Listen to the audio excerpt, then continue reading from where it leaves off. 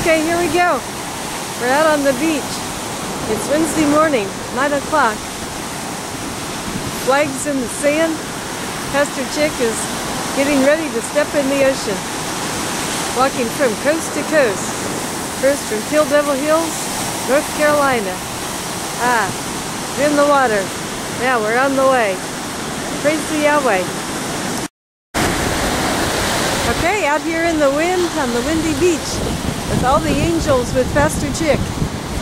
We're beginning the walk up on the sandy beach. On up.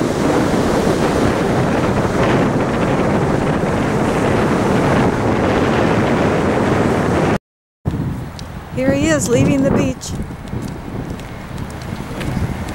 He- Here's Pastor Chick is leaving the beach on the walk through Kill Devil Hills.